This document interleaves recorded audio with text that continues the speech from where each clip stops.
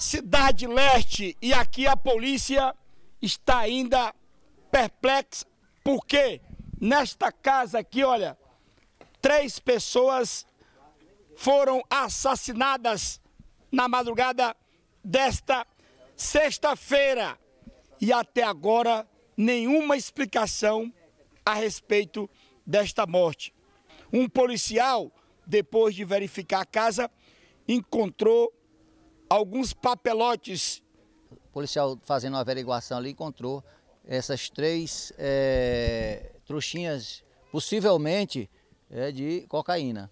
Mas é, a gente encontrou também aí vários pedaços de motos, várias peças de motos.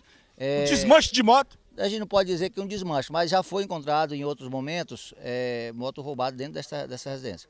É, nós já foi apreendida arma de fogo em outro momento para trás. O que, que realmente aconteceu aqui? Três pessoas assassinadas. A polícia sabe o que desse triplo homicídio? Que a gente pode, que são três, três óbitos com características, né?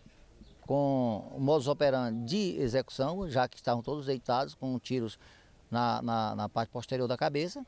E envolvimento desse, do, do, proprietário da casa, em princípio, não, nós não temos, não foi constatado, a família diz que é uma, um, um, rapaz trabalhador, trabalhar num comércio, num comércio grande, num supermercado grande de Teresina.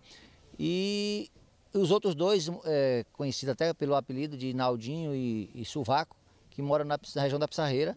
Esses, alguns policiais disseram que já tiveram oportunidade de, de encontrá-los aí no mundo do, do, do, crime, mas a família também disse. O outro, o Rodrigo, esse sim, já, já, já envolvido com assalto, com roubo de motos e tudo mais. Tanto que nós encontramos aí sete celulares, é, várias, algumas peças de moto, chaves, muita chave de moto para fazer.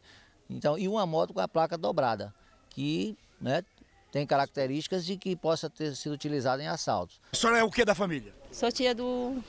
De um dos que morreram. Uhum. Como é que era o seu sobrinho? Fala pra gente aí. Ele era gente boa, uhum. humilde, trabalhador.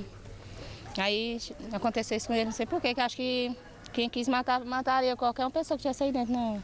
Muito sangue na residência, uma residência percebe humilde, mas que foi revirada nesta madrugada ela foi aí. Um dos corpos estava aqui, o outro mais ali afastado e um outro lá já pelos fundos da residência, a informação da polícia. Três homens encontrados mortos nesta residência.